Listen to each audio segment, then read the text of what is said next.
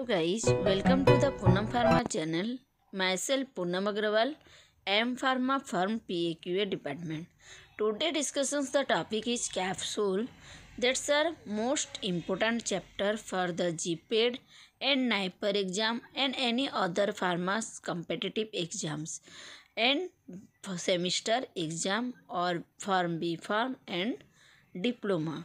तो all of सारे चीज़ों के लिए बहुत ज़्यादा इम्पोर्टेंट है ये चैप्टर तो आप लोग थोड़ा अच्छे से समझने की कोशिश करिएगा।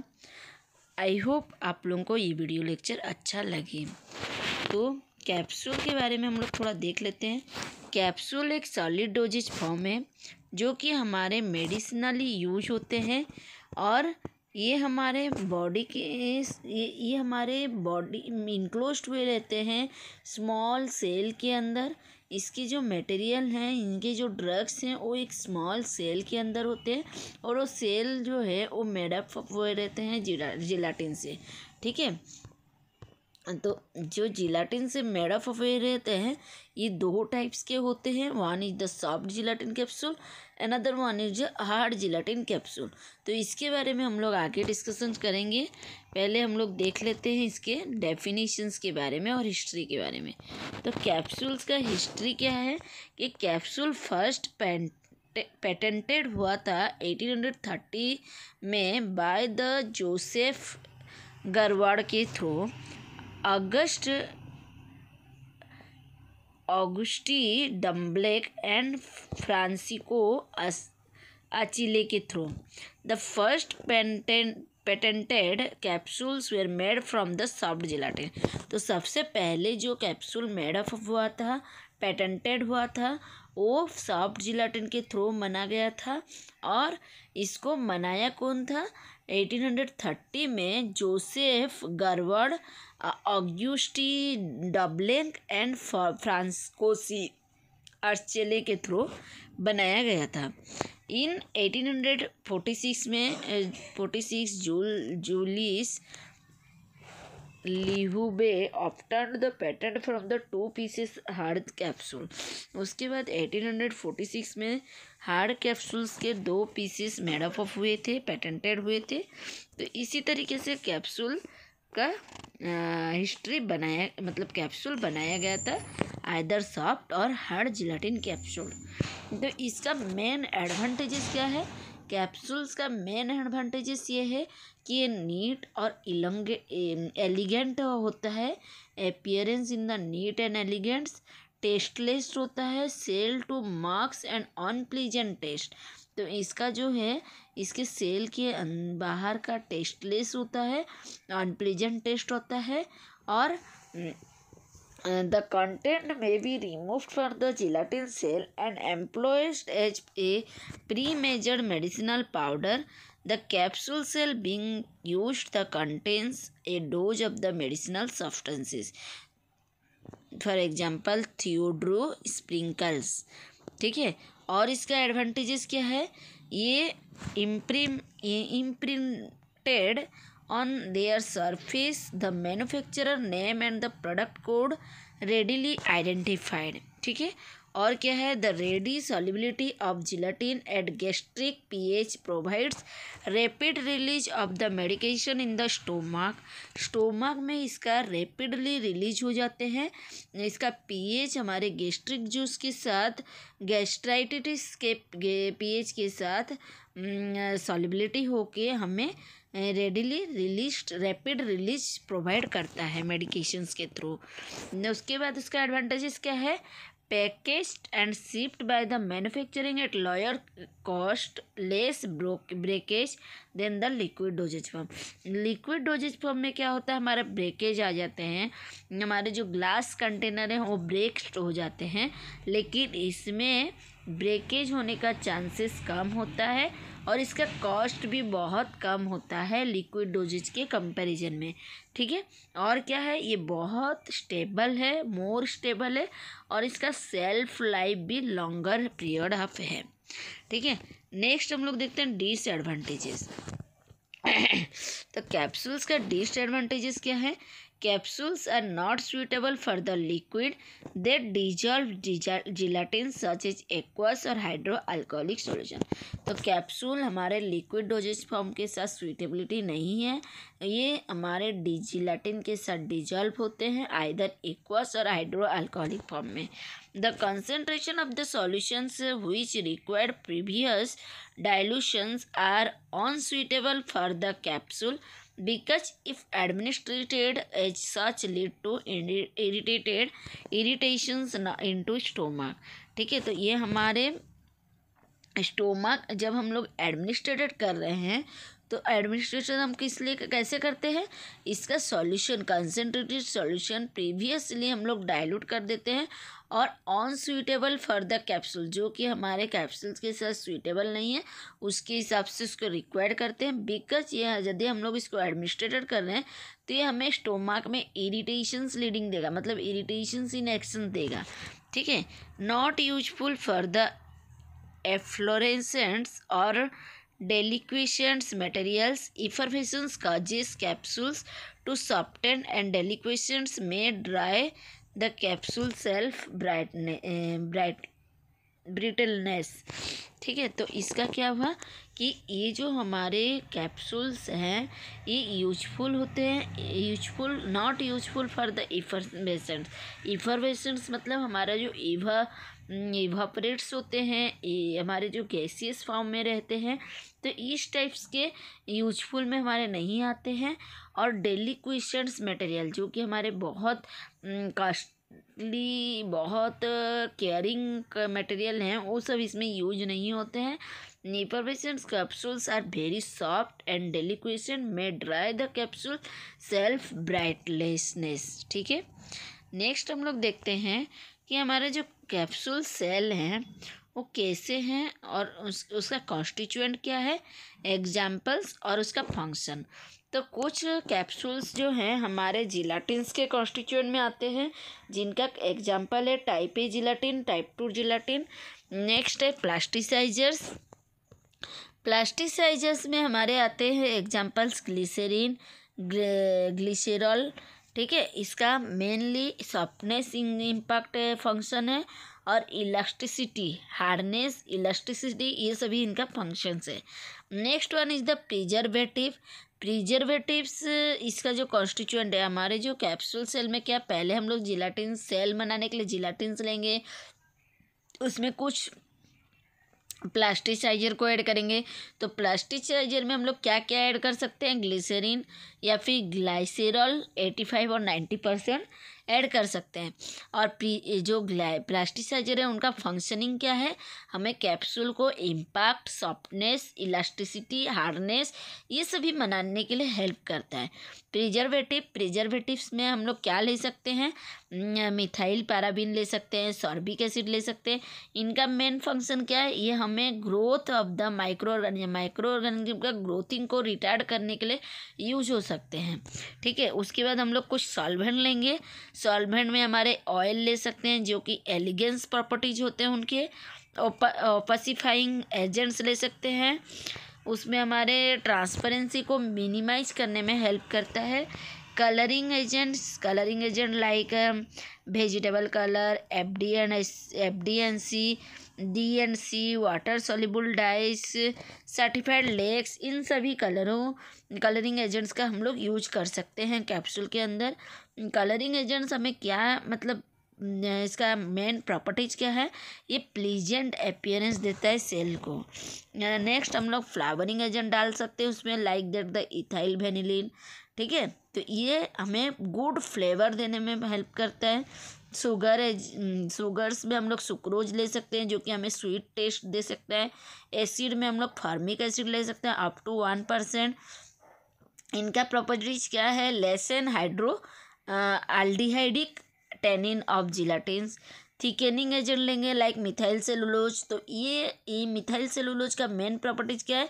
जिलाटिन्स को, के विस्कोसिटी को एडजस्ट करने में हेल्प करता है। वाटर लेंगे, जो कि हमारे सॉलिबिलिटी को मेंटेन करके पीएच को मेंटेन करने में हेल्प करता है। तो इस तरीके से हमें एक कैप्सूल बनाने के लिए हमें इन सभी एजेंट्स का ज़रूरत पड़ेगा। नेक्स्ट हम लोग देखते हैं कि हमारे जो कैप्सूल्स जिलाटिन्स हैं जिलाटिन्स कितने टाइप्स के हैं जिलाटिन्स कहाँ कैसे है, क्या है उनके बारे में थोड़ा देखेंगे। तो जिलाटिन एक हेट्रोजीनियस प्रोडक्ट है, जो कि hydrolytic extractions of animal collagens animals के कोलाजन से हाइड्रोलाइटिक प्रोसेस में एक्सट्रैक्ट किया गया है। इसका मेन सोर्सेस है the gelatin include the animal bone hide portions and for frozen pork skin से मिलता है हमें जिलाटिन जिलाटिन दो टाइप्स के हैं type one gelatin type two gelatin जो कि मैं आपको कंपोजिशन में बता दी हूँ। टाइप वन जिलाटिन्स हमारे डेराइव हुए हैं एसिड ट्रीटेड प्रिकर्सर से। Exhibit into the isoelectric point at the P H nine it is manufactured mainly by the pork skin तो type one gelatin mainly manufacture हुए हैं हमारे पॉर्क स्किन से। इनका पीएच पॉइंटेड हुआ है नाइन तक। Then type two type B gelatin ये अल्काली ट्रीटेड हैं। Type A gelatin acid treated हैं। ठीक है type B gelatin alkali treated हैं। ये precursors exhibit by the electrolytic point pH is four point seven ठीक है? It is manufacturing by the animals bone तो ये एनिमल्स के बोन से मैन्युफैक्चर किए गए हैं। जिलाटिन्स का प्रिपरेशंस में हम लोग थोड़ा देख लेते हैं। हम लोग देखिए कि टाइप ए जिलाटिन्स हमारे एसिड प्रोसेस में हुए हैं। Type two G type B gelatin alkali process में है। तो इनके बारे में थोड़ा देखते हैं। जो हमारे पीक स्किन बोन से स्प्लिट से लिए गए हैं। तो इन तीनों के इसको क्या किया गया है? पहले वॉशिंग किया गया है। वॉशिंग करके ग्राइंडिंग किए हैं। ग्राइंडिंग करके ड्राफ्टिंग कर रहे हैं। ड्राफ्टिंग करने के बाद उसका लाइमिंग प्रोसेस किए। लाइमिंग प्रोसेस मीन्स उसे कुछ कुछ पीसेस में कट किए। उसके बाद उसे हाइड्रोलाइसिस किए। वॉश किए। मैसीरेशन किए। फिर उसको मैश किए। फिर न्यूट्रलाइजिंग करके एगेन वॉशिंग करके स्टोरेज में एक्सट्रैक्ट किए। और लास्ट में जो एक्सट्रैक्शन प्रोसेस को स्टोरेज करने के बाद हमारा जिलाटिन सॉल्यूशन प्रिपेयर हो गए हैं। ठीक है? नेक्स्ट हम लोग देखते हैं जिलाटिन्स के प्रॉपर्टीज़ तो इसमें क्या होता है? ब्लूम और जेल स्ट्रेंथ के कुछ जिलाटिन्स का मेजर हुआ है of a cohesive strength of the cross linked that cross between the gelatin molecule and is proportional to the molecular weight of the gelatin higher the bloom strength more is physically stable the capsule cell bloom range 150 to 120 sorry 250 gram first हुआ हमारा bloom और gel strength second है हमारा viscosity of the gelatin gelatin का viscosity कितना होना चाहिए तो twenty five to forty M P mega pixel तक होना चाहिए उसमें जिलाटिन्स के में और क्या होना चाहिए? Iron content iron content mainly not more than fifty P P M parts per minutes उतना से ज़्यादा नहीं होना चाहिए। उसके बाद हम लोग देखते हैं कि हमारे जो M T gelatin capsule manufacture किए जाते हैं, ये कौन कौन से स्टेप से किए जाते हैं? तो एम टी जिलाटिन कैप्सूल्स को बनाने के लिए हमें डिपिंग करना पड़ता है। Dipping step spinning drying stripping trimming and joining last one is the polishing ठीक है? तो अब हम लोग देखते हैं कि हमारे जो जिलाटिन कैप्सूल्स हैं उनमें जो हम लोग स्टेप रिकवर किए हैं स्टेप प्रोसेसिंग कर रहे हैं तो उन स्टेप के बारे में थोड़ा देख लेते हैं। पहले हम लोग क्या करेंगे? रॉ मटेरियल रिसिप्ट करेंगे और उसके क्वालिटी कंट्रोल को रिलीज़ करेंगे। जे उसकी वाटर को मिक्स करेंगे। वैक्यूम में stainless steel gelatin melting point का सिस्टम्स को रिवाइज करेंगे। उसके बाद हम लोग रिसीविंग टैंक में उसे एंटर करेंगे। फिलअप करेंगे। रिसीविंग टैंक में फिलअप करने के बाद जिलाटिन सॉल्यूशन ट्रांसफ़र होगा to the stainless steel feed tank में। उसके बाद हमें dyes of opacifiants and any other needed the water added to the gelatin capsule feed tank and complete the gelatin preparation procedure from the feed tank the gelatin is gravity feed to dip to the solution next हम लोग dipping में क्या करेंगे हम लोग? Dipping कैसे करते हैं? तो हम लोग एक पेयर स्टेनलेस स्टील पिन लेंगे, उसे डिप करेंगे। डिपिंग सॉल्यूशन में हमारे कुछ डिपिंग सॉल्यूशन होंगे, उसमें उसे डिप करेंगे। To simultaneously from the cap and body for the twelve second उसके जो केप पार्ट से और बॉडी पार्ट से बोथ को साइमल्टेनियसली बारह सेकेंड तक हम लोग डीप करके रखेंगे। Dipping solution is maintain at a temperature is about fifty degree centigrade in a heated ठीक है, उसके बाद उसके डिपिंग सॉल्यूशन का टेम्परेचर को मेंटेन करेंगे for the fifty degree centigrade in a heated jacketed dipping pan and pin are at twenty degree twenty two degree centigrade then spinning process spinning process में क्या करेंगे? Pin are rotated and distributed the gelatin over the pin uniformly and to over the permissions of a bread bead at the capsules end it is rotated two half times by re removing upward Drying the gelatin is dried by a blast of cool air to form a hard shell. The pin are removed through the series by the drying plants where gently moving air which is the precisely controlled for the um, palm temperature and humidity removed from the exact amount of the moisture from the capsule shell तो drying में हमें उसे dry करना है। Cool air में जब हमारा cell dried हो जाएगा तो ड्राइंग सेल को हम लोग लेंगे और टेम्परेचर ह्यूमिडिटी रिमूव करेंगे उसमें से। उसके बाद स्ट्रिपिंग करेंगे। स्ट्रिपिंग में क्या होगा? हमारा जो जॉ है स्ट्रिप्ड जॉ है, उसके, उसमें केप और बॉडी पर्सनस को एंटर करेंगे series wise and the capsule form and pins ठीक है? ट्रिमिंग में क्या होगा? Stripped cap and body portions are trimmed as a required length of the stationary knife the cap and body length is precisely trimmed for the plus minus zero 15 mm and uh, tolerance. The after trimming the right length and the cape and body persons are joined. Finished finished capsules are pushed on the conveyor belt and carried from out the container. Capsule quality monitored throughout the productions process including the size moisture content single wall thickness and color.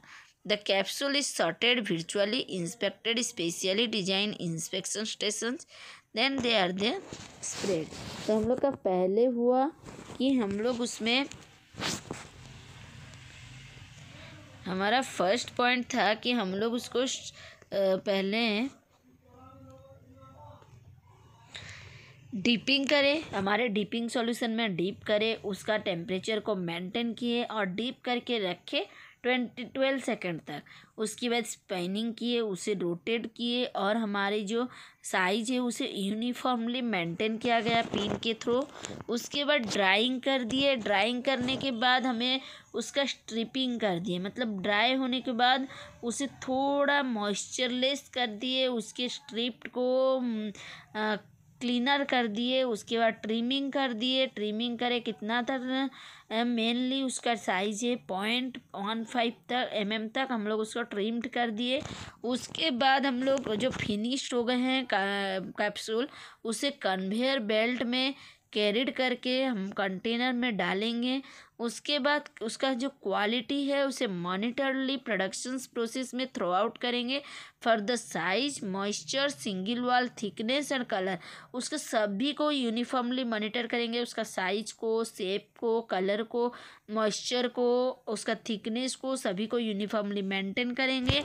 और trimmed करने के बाद हम लोग क्या करेंगे? इसे देंगे ड्रग्स फिलअप करने के लिए। And finally then drugs fill up होने के बाद पैकेजिंग में देंगे। समझ में आ गया?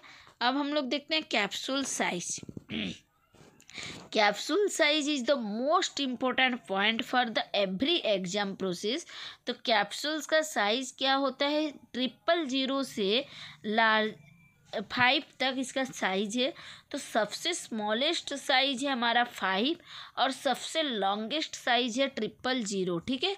तो हमारा जो हार्ड जिलेटिन कैप्सूल है, ये एन कैप्सूलेटेड यूज़ होते हैं between the sixty five M G to one gram ठीक है? तो अब हम लोग इसके साइज़ को थोड़ा देख लेते हैं। कैप्सूल साइज़ अगर हमारा ट्रिपल ज़ीरो है तो इसका volume one point three seven है, ठीक है? और हाइट डायमीटर इस तरीके से होता है। Double zero is the nine point nine five volume, single zero point six eight volume, one point fifty volume, two point thirty seven volume, three point three zero volume, and fourth point two one zero, two one volume, five point one three volume. तो इन सभी volume में सबसे हमारे जो largest capsule size है, वो है ट्रिपल ज़ीरो साइज़ एंड सबसे स्मॉलेस्ट साइज़ है फाइव नंबर के कैप्सूल। तो अगर हमें क्वेश्चन आता है कि सबसे smallest size of the capsule कौन से हैं, और ऑप्शन दिया रहेगा तो हम लोग ट्रिपल ज़ीरो ही टिक करेंगे। और सबसे स्मॉलेस्ट फाइव, ठीक है? नेक्स्ट हम लोग देखते हैं this one is the capsule size. Image next हम लोग देखते हैं हमारे types of capsule types of capsule में हमारे फ़र्स्ट टाइप से hard gelatin capsule another one is the soft gelatin capsule तो हार्ड जिलाटिन कैप्सूल हमारे दिखने में इस तरीके से दिखते हैं और सॉफ्ट जिलाटिन कैप्सूल इस इस तरीके से दिखाई देते हैं. तो हार्ड जिलाटिन कैप्सूल हमारे एडमिनिस्ट्रेटर होते हैं सॉलिड मेडिकेशन के लिए. ठीक है?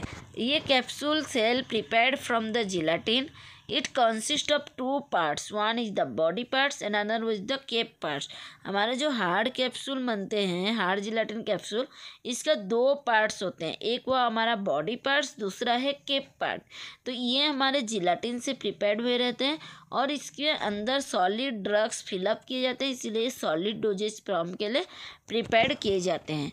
The powder material is filled into the cylindrical body of the capsule and the cap is the placed over it तो इसके जो पाउडर मटेरियल हैं, उसको फ़ील्ड किया जाता है सिलेंड्रिकल बॉडी कैप्सूल के अंदर और उसके ऊपर फिर केप लगा के उसे सील्ड किया जाता है। ठीक है? नेक्स्ट है